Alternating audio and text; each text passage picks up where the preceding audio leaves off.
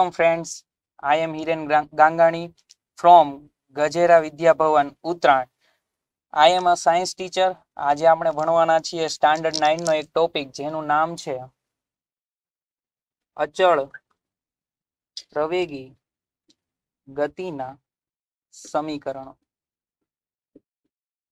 અચળ પ્રવેગી ગતિના જે સમીકરણો છે, એ કેવી રીતે ભણવાના છે તો આપણે જોવાનું છે અને આલેખની મદદથી. કે આલેખની મદદથી આપણે આ સમીકરણો જોશું, તો એની તારવણી કઈ રીતની થશે? ત્રણ સમીકરણો છે મિત્રો.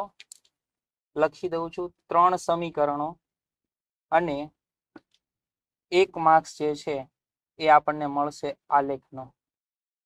એટલે તમે જો ટોટલ કરશો, તો three plus one is equals to જે ફોર છે, તો આ ફોર માર્ક્સની અંદર આપણને એક્ઝામમાં પૂછાય છે કે આલેખની મદદથી અચળ પ્રવેગી જે ગતિ છે, એના સમીકરણો તમે તારવણી કરીને મેળવો.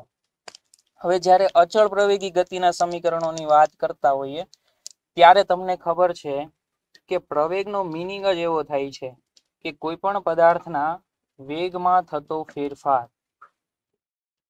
આ જે વેગ છે, એ પોતે સદિશ રાશિ છે અને વોટેવર આ બધી જે બાબતો છે એ તમે ભણી ગયા છો. વેગમાં થતો ફેરફાર છે, તો એને ફેરફાર થવા માટે એને કંઈક ને કંઈક સમય જોઈએ છે, જેને આપણે ટાઈમ કહીએ છીએ. પ્રવેગ જે છે, એને એસલરેશન એ તરીકે ઓળખવામાં આવે છે. તો એનું જે ફોર્મ્યુલા ડિરાઈવ કરવાનું થાય છે, એ કંઈક આ રીતનું હોય છે કે એ ઇઝ ઇક્વલ્સ ટુ વેગમાં થતો ફેરફાર જેને ડેલ્ટા વી અને છેદમાં રહેલો છે સમય, જેને આપણે ટી તરીકે ઓળખતા હોઈએ છીએ. હવે આને આલેખની મદદથી જો દર્શાવવું હોય તો શેના વિરુદ્ધ શેનો આલેખ દોરવો પડે? તો તમને ખ્યાલ છે કે જો આપણી પાસે એ હોય અને ટી હોય, સાથે સાથે વી આપેલું હોય, તો બે રાશિ નોન છે આપણી પાસે, વેગ અને સમય. આ બંને જો નોન હોય તો એના ઉપરથી અનનોન આને લખી દઉં છું હું અનનોન એટલે કે એ એ આપણે મેળવી શકીએ. તો આપણે ગ્રાફ દોરીશું વી વિરુદ્ધ ટી નો આલેખ. વી વિરુદ્ધ ટી નો આલેખ દોરવા માટે આપણે એક્સ એક્સિસ ઉપર ટાઈમને લઈશું અને વાય એક્સિસ ઉપર વેલોસિટી એટલે કે વેગને લઈશું. કેવી રીતે? તો હું અહીંયા ગ્રાફ દોરવાની ટ્રાય કરું છું. આ કોઈ આપણી એક ઊભી અક્ષ છે અને ત્યાંથી હું એક કોઈ આડી અક્ષ દોરું છું. ઊભી અક્ષ છે અને ડેફિનેટલી આપણને ખબર જ છે કે એક્સ એક્સિસ આડીને અને ઊભી જે છે એને આપણે નામ આપશું વાય એક્સિસ આ એના બિંદુઓ તરીકે આપણે કન્સિડર કરી શકીએ. જ્યાંથી એની શરૂઆત થઈ છે, એ ભાગ એટલે કે એનું ઓરિજિન એનું ઉગમ બિંદુ કહેવામાં આવે. એના કોઈ એક બિંદુ એથી. હવે કોઈ એક બિંદુ હોય તો ત્યાંથી એની શરૂઆત થતી હોય છે. આ એક એનું સ્ટાર્ટિંગ પોઈન્ટ લઈ લઈએ. શેના વિરુદ્ધ શેનો ગ્રાફ છે? તો આ વી વિરુદ્ધ ટી નો ગ્રાફ આપણને આપેલો છે. વી વિરુદ્ધ ટી નો ગ્રાફ. આ આપણું સ્ટાર્ટિંગ પોઈન્ટ થયું. સ્ટાર્ટિંગ પોઈન્ટને ધારો કે નામ આપી દઈએ એ. જેમ જેમ મિત્રો સમય વધતો જશે, તેમ તેમ તેના વેગમાં પણ સમયની સાથે થાય છે વધારો. સમયની સાથે વધારો થાય તો એ ભૌતિક રાશિને આપણે કહીએ છીએ પ્રવેગ એસલરેશન તરીકે ડિફાઇન કરીએ છીએ આપણે એને. આ પોઈન્ટને આપણે નામ આપી દઈએ કોઈ પોઈન્ટ બી તરીકે. હવે તમે અહીંયા જોઈ શકો છો કે જેમ જેમ વેગમાં વધારો થતો જાય છે, તેમ તેમ એ વસ્તુને કંઈક સમય પણ લાગેલો હશે. તો આને આપણે સમયની અક્ષ સાથે અટેચ કરી દઈએ. આ થઈ ગયું સમયની સાથે અટેચ હવે તમે જુઓ, તો આ એક અનિયમિત આકાર આપણે ગણી શકીએ, અથવા તો આને કેટલાક સમલમ ચતુષ્કોણ એવી રીતે પણ ડિરાઈવ કરે છે. હવે આને આપણે બે ભાગમાં જો કટ કરીએ, તો એક મળશે આપણને ત્રિકોણ અને બીજો મળશે આપણને લંબચોરસ. એને જો નોમેનક્લેચર આપીએ તો ચોરસ ઓ એ સી અને અહીંયા રાખીએ આપણે કંઈક ડી એટલે ત્રિકોણ બનશે આપણો ત્રિકોણ એબીસી જે અહીંયા પણ લંબ છે. ત્યારબાદ ચોરસ બનશે એ સી ડી ઓ આમાં પણ બંને લંબ બાજુઓ છે.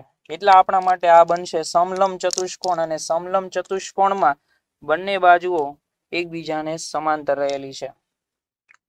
શેના વિરુદ્ધ શેનો ગ્રાફ છે તો કે વેગ વિરુદ્ધ સમયનો ગ્રાફ છે અને એ આપણને મૂલ્ય આપશે પ્રવેગ, જેને એસેલરેશન તરીકે ઓળખીએ છીએ. આ જે બી પોઈન્ટ છે, એને વેગની સાથે અટેચ કરીએ તો કંઈક આવી આકૃતિ આપણને દેખાશે. જેટલું મૂલ્ય ઓડીનું છે, તો ઓ થી ડી સુધીનું ડિસ્ટન્સ કવર કરતા એને આપણે ટી જેટલો સમય જતો રહ્યો છે, તો એને આપણે ટી તરીકે ઓળખી શકીએ. અને જેટલું ડિસ્ટન્સ ઓ થી ડી સુધીનું છે સેમ એટલું જ ડિસ્ટન્સ એ થી સી સુધીનું છે, તો એને પણ આપણે ટી તરીકે ડિરાઈવ કરી શકીએ. હવે તમે જોશો, તો ઓ થી એ સુધીનું જે અંતર છે, તો એ બિંદુ એ આપણું સ્ટાર્ટિંગ પોઈન્ટ હતું. તો એને એસ વન પ્રારંભિક સ્થાન અને આ આપણું જે છે અંતિમ સ્થાન છે એસ ટુ. આને આપણે એઝ અ યુ તરીકે પણ કન્સિડર કરશું. અને આટલો જે એરિયા કવર થયો છે, એને વી તરીકે કન્સિડર કરવામાં આવે છે. તો આ બની જશે આપણા માટે વી હવે જો આપણે આખી વાત કરીએ તો તમને ખ્યાલ આવશે કે સમયની અક્ષથી ઉપરની તરફ ડી થી લઈને બી સુધી જેટલું અંતર કપાઈ ગયું છે. તો આખું બીડી જો મારે જોઈતું હોય, બી થી ડી સુધીનું અંતર, તો એ મને કેટલું મળશે? તો બી થી ડી સુધીનું જે અંતર છે, એ બે ભાગમાં વિભાજિત છે. બી થી સી સુધીનું અંતર અને સી થી ડી. તો બી થી સી વત્તા સી થી ડી સુધીનું અંતર. એને જ આપણે જો બીજા શબ્દોમાં કેવું હોય તો આવી રીતે પણ લખી શકીએ કે B D is equals to BC જે હતું એનું એ જ. અને ત્યાંથી આગળ સીડી જેટલો જ ભાગ અહીંયા એ થી ઓ સુધીમાં કવર થયેલો છે, તો આપણે એને ઓ થી એ સુધીનું નામ આપી દઈએ. હવે બધાની જો વેલ્યુ આપણે પુટ કરવા જઈએ, તો બી ડી જે લાઈન છે, એના માટે આપણને અહીંયા મળેલું છે ટોટલ વી જેટલું અંતર. અથવા તો વેગ. એને વી તરીકે પણ ઓળખી શકીએ. બીસી ને આપણે એઝ ઇટ ઇઝ રહેવા દઈએ. ત્યાર પછી ઓ થી એ સુધીનું અંતર તમે જોશો તો ઓ થી એ સુધીનું અંતર મળે છે આપણને સ્ટાર્ટિંગ ડિસ્ટન્સ અથવા તો સ્ટાર્ટિંગ પોઈન્ટથી અંતર ઇઝ ઇક્વલ્સ ટુ યુ આમાં જો આપણે બીસી ને સૂત્રનો કરતા બનાવીએ તો જે વી છે યુ પ્લસમાં છે, એ માઇનસમાં થઈ જશે. એટલે બીસી ની વેલ્યુ આપણને મળી જશે વી માઇનસ યુ આપણું ફર્સ્ટ સ્ટેપ કમ્પ્લીટ થાય છે અહીંયા મિત્રો. આ થઈ ગયું આપણું ફર્સ્ટ સ્ટેપ કમ્પ્લીટ હવે તમે જો પ્રવેગ એટલે તો વેગમાં ફેરફાર કહેવાય. પ્રવેગની જો તમે વ્યાખ્યા જાણતા હો, તો પ્રવેગ ઇઝ ઇક્વલ્સ ટુ વેગમાં થતો ફેરફાર અને છેદમાં તે માટે લાગતો સમયગાળો. આ એનું આપણું સૂત્ર છે. છેદમાં છે સમય. પ્રવેગની જે સાઇન છે એને એ અને સમયને કહીએ છીએ આપણે ટી વેગમાં ફેરફાર કેટલો થયો છે? તો કે સી પોઈન્ટથી લઈને બી સુધી, કારણ કે પેલા તો ઓ થી એ સુધી હતું. હવે જાય છે સી થી લઈને બી સુધી. એટલે કે in short A is equals to B C upon time time કેટલો જાય છે? ઓ થી લઈને ડી સુધીનું ડિસ્ટન્સ તો ઓ થી લઈને ડી સુધીનું ડિસ્ટન્સ જે છે, એ કવર થાય છે. હવે તમે જુઓ, તો જેટલું ડિસ્ટન્સ ઓ થી ડી સુધીનું છે, એટલું જ ડિસ્ટન્સ એ થી સી સુધીનું છે. તો જ્યાં ઓડી હતું, ત્યાં સી લખી શકાય. અને તમે આ નિયમ જાણો છો મિત્રો કે એ ઇઝ ઇક્વલ્સ ટુ જો બી ભૌતિક રાશિ હોય અને બી ઇઝ ઇક્વલ્સ ટુ જો સી ભૌતિક રાશિ હોય તો ત્રણેયને આપણે એ બરાબર બી લખી શકીએ. બી બરાબર સી. તો એ બરાબર પણ આપણે સી લખી શકીએ. તો આને આપણે જો સરખાવીએ, તો એ ઇઝ ઇક્વલ્સ ટુ થશે બીસી ના છેદમાં એસી બીસી નું મૂલ્ય આપણને ખબર નથી. એ આપણને આપી દીધેલું છે. એસી નું મૂલ્ય આપણે જાણતા છીએ કારણ કે ઓ થી ડી સુધીનું જેટલું અંતર છે, એટલું જ અંતર એ થી સી સુધીનું છે. હવે અહીંયા બીસી ને આપણે જો સૂત્રનો કરતા બનાવીએ, તો ફાઇનલ ઇક્વેશન આપણું બનશે BC is equals to AT આને આપણે સરળતા ખાતર સમીકરણ નંબર એક અને આને આપી દઈએ છીએ સમીકરણ નંબર એક પોઈન્ટ એક. હવે જો આ બંને સમીકરણોને સરખાવવામાં આવે, તો આપણને નવું કંઈક મળી આવશે. સમીકરણ નંબર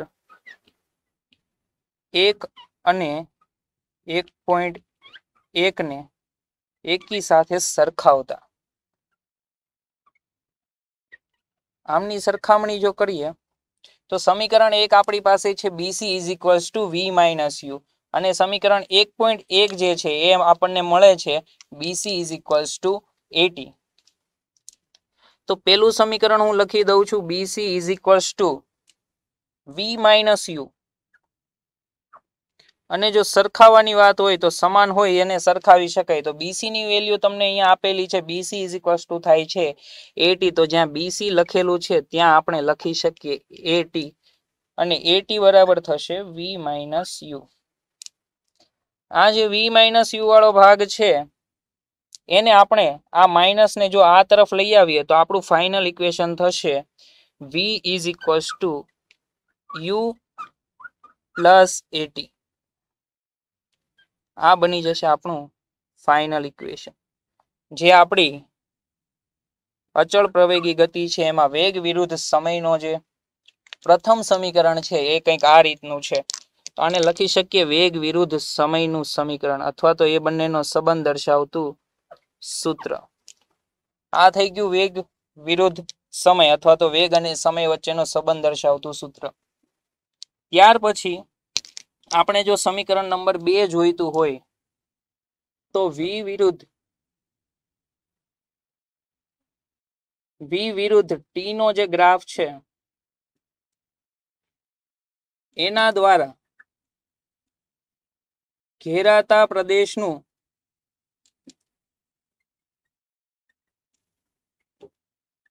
ઘેરાતા પ્રદેશનું ક્ષેત્રફળ એ હંમેશા અંતર અથવા તો એના સ્થાનાંતર જેટલું હોય છે. તો અંતર અથવા તો સ્થાનાંતરને આપણે એસ તરીકે ઓળખીએ છીએ. સ્થાનાંતર જે છે અથવા તો અંતર છે એને આપણે ડિનોટ કરીએ છીએ એસથી. અથવા તો આને કેટલાક સ્ટોપિંગ ડિસ્ટન્સ વડે પણ ડિનોટ કરવામાં આવે છે. તો એસ આપણને કેટલું મળશે? તો જે ટોટલ એરિયા ઓફ છે, આખા આપણને જે ફિગર આપેલી છે, એ ફિગરનું ટોટલ એરિયા જે કવર થયું છે, એટલે કે ક્ષેત્રફળ, એના જેટલું આપણને મળશે. તો હવે આપણને સવાલ થાય કે આપણે આનું જે ક્ષેત્રફળ છે, આ તો એક અનિયમિત આકાર છે, કેવી રીતે ફાઇન્ડ કરશું? તો એના માટે આપણે બે આકૃતિનો યુઝ કરશું. એક છે ત્રિકોણ અને બીજો મળશે આપણને ચતુષ્કોણ અથવા તો ચતુષ્કોણના સ્વરૂપમાં એક લંબચોરસ આપણને પ્રાપ્ત થશે. તો એના માટે હું લખું છું પહેલા તો કે ચતુષ્કોણ એ બી ડી થી લઈને ઓ, ચતુષ્કોણ એ બી ડી ઓ નું ક્ષેત્રફળ. આ જે ક્ષેત્રફળ હશે એ કેટલું હશે? તો કે એને પણ આપણે બે ભાગની અંદર ડિવાઈડ કરશું. એક આવશે ત્રિકોણ અને બીજો આવશે ચોરસ. એમાંથી જે ત્રિકોણ છે, એનું નામ થશે એ બી સી ત્રિકોણ એ બી સી નું ક્ષેત્રફળ. પ્લસ, કારણ કે બંનેનો સરવાળો થશે તો જ આપણને આખું કવર થશે. બીજું જે છે એ નું ક્ષેત્રફળ. ચોરસ એ સી ડી ઓ નું ક્ષેત્રફળ. તો ટોટલ ક્ષેત્રફળ થાય કેટલું? તો તમને ખબર જ છે કે ત્રિકોણનો જે ક્ષેત્રફળ હોય, એ વન હાફ હોય હંમેશા. વન હાફ પાયો ગુણ્યા વેદ તો વન હાફ ગુણ્યા પાયો અને એની સાથે ગુણાકાર થશે વેધનો પ્લસ કરીને આપણને ખબર છે એસીડીઓ જે આપણને ચતુષ્કોણ મેળવો છે, એ હકીકતમાં એક લંબચોરસ છે. અને જો લંબચોરસ હોય તો એમાં લંબાઈ ગુણ્યા પહોળાઈ દ્વારા આપણે એરિયા ફાઇન્ડ કરી શકીએ. તો લંબાઈ અને પહોળાઈનો જો ગુણાકાર કરવામાં આવે તો એ થશે સીડી ઇન્ટુ ઓડી. એ થશે સીડી ઇન્ટુ ઓડી. અહીંયા મિત્રો કોઈ ઓડી કારની વાત કરવામાં આવી નથી. ઓ થી ડી છે, એ ભુજાની લંબાઈ છે. તો એ ધ્યાન રાખવાનું છે આપણે. તો વન હાફ પાયો. પાયો જે છે ત્રિકોણ માટે બનશે એસી કારણ કે આવી રીતે થશે. આ પાયો અને એના ઉપર બનેલી ઇમારત અથવા તો વેદ. તો એસી આપણા માટે પાયો છે. એસી નું મૂલ્ય આપણા માટે મળે છે ટી વેદ જે છે એની લંબાઈ છે બીસી તો ત્યાં આપણે લખશું BC is equals to AT કારણ કે બીસી ની વેધ આપણો બન્યો છે બીસી એ વાત સાચી, પણ બીસી ની વેલ્યુ હમણાં જ આપણે ફાઇન્ડ આઉટ કરી ગયા છીએ અને એ છે આપણા માટે એટી તો જ્યાં બીસી છે ત્યાં આપણે પુટ કરીશું એટી પ્લસ જે સૂત્રના છે એ મૂકી દેવાના અને સીડી ની વેલ્યુ સી થી ડી સુધીનું અંતર, એ જ આપણું થશે ઓ થી એ સુધીનું અંતર. અને ઓ થી એ સુધીનું અંતર મળે છે આપણને યુ જેટલું. ઓ થી ડી નું ડિસ્ટન્સ કેટલો ટાઈમ કવર થાય છે? તો કે ટી જેટલો ટાઈમ કવર થાય છે. આને આપણે આગળ વધારીએ. અહીંયા બધે મિત્રો તેથીની નિશાની કરશું, અથવા તો therefore one half as it is T into AT એટલે બનશે A T square plus U into T એટલે કે યુ ટી હવે તમને પેલું સમીકરણ આપણે જે ભણી ગયા છીએ, એ તમને યાદ આવવું જોઈએ કે S is equals to UT plus one half AT square છે. તો આપણે શું કરીશું કે સ્થાનની અદલા બદલી કરીશું અને સ્થાનની અદલા બદલી કરતા આપણને મળશે S is equals to UT plus one half AT square તો આ જે છે, એ આપણું ગતિનું બીજું સમીકરણ મળી ગયું છે. અને આ સમીકરણ આપણને શાનું મૂલ્ય દર્શાવે છે, તો કે એસ એટલે કે કપાયેલું અંતર અને એની સાથે એનો જે સંબંધ છે એ તમે અહીંયા જોઈ શકો છો કે ટી સાથેનો સંબંધ છે અને ટી ને કહેવામાં આવે છે સમય. તો બીજું ઇક્વેશન જે ફાઇન્ડ આઉટ કર્યું છે એ આપણને મળે છે S is equals to UT plus one half AT square જેટલું. તો આને આપણે ફાઇનલ ઇક્વેશન નંબર ટુ આપી દીધું. હવે મિત્રો જોવાનું છે આપણે ઇક્વેશન નંબર થ્રી અને ઇક્વેશન નંબર થ્રી જો જોવું હોય, તો આપણે પ્રવેગ બરાબર શું થાય છે? તો કે વેગના છેદમાં થતો ફેરફાર. વેગમાં જે ફેરફાર થાય છે, તો એના માટે કોઈ પણ પદાર્થ હશે, એને કંઈક ને કંઈક સમય તો લીધેલો જ હશે. આ વેગમાં ફેરફાર અને તે માટે લાગતો સમય. વેગમાં ફેરફાર થાય અંતિમ માઇનસ પ્રારંભિક અને સમય લાગે છે એના માટે હંમેશા ટી જેટલો. તેથી આપણે જો ટાઈમને સૂત્રનો કરતા બનાવીએ, કારણ કે ક્યારના આપણે સમય વિશેની વાત કરી રહ્યા છીએ, તો ટાઈમ ઉપરની તરફ આવશે અને પ્રવેગ જે છે નીચે તરફ જતો રહેશે. તેથી V is minus U upon A આ સમીકરણની આપણે આગળ જતા કિંમતો મૂકવામાં જરૂર પડશે. તો આને આપણે બે પોઈન્ટ એક જેટલું સમીકરણ આપી રહીએ છીએ.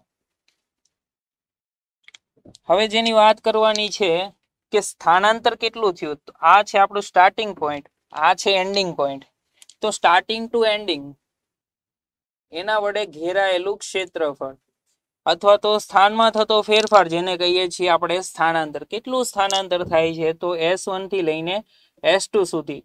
હવે એ સ્થાનાંતર ફાઇન્ડ કરવું હોય, તો આ સ્થાનાંતર મેળવવા માટે આપણે મેળવશું સમલમ ચતુષ્કોણનું ક્ષેત્રફળ. કયો સમલમ ચતુષ્કોણ બને છે? ચતુષ્કોણ એ બી ડી ઓ માટે અહીંયા નામ લખશું સમલમ ચતુષ્કોણ.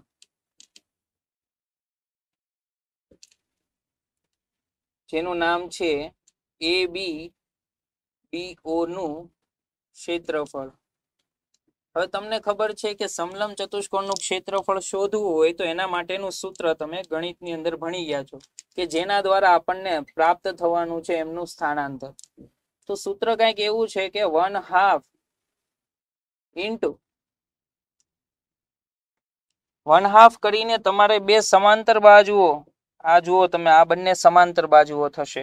એ થી ઓ અને બી થી લઈને ડી આ બંને આપણી સમાંતર બાજુઓ થશે. તો બે સમાંતર બાજુઓનો સરવાળો એટલે કે એ ઓ વત્તા બનશે આપણા માટે બી ડી